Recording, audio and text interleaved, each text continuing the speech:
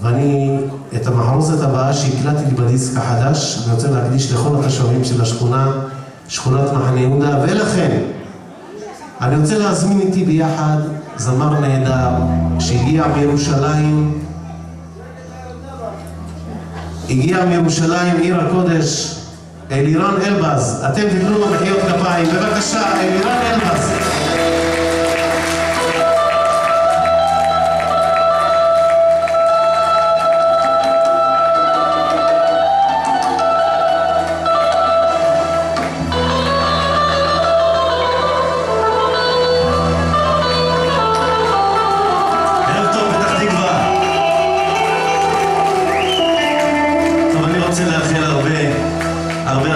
לחברנו היקר אהרון יריבי, מגיע לו מחיאות כפיים. שתמשיך לשמח את עם ישראל ולעשות חיל וחיל בעזרת השם עד ביאת גואל צדק, שתזכה לשיר למשיח. זה בקבל של כולם.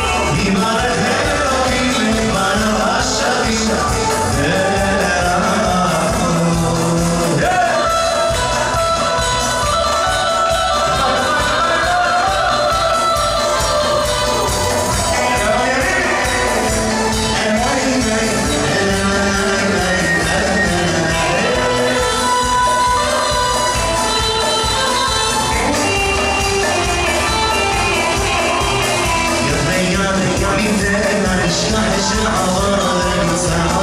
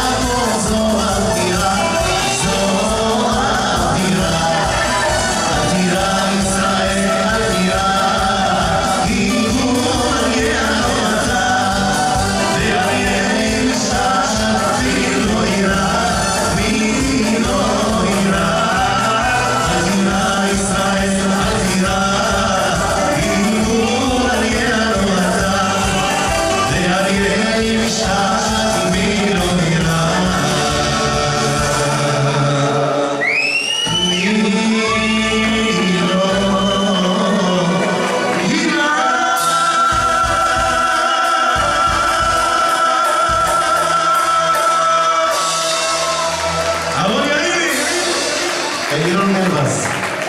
אייל, אם אפשר לכמות האגו אצלי, לפני שלירון יתחמם, זה רק היה לחימום.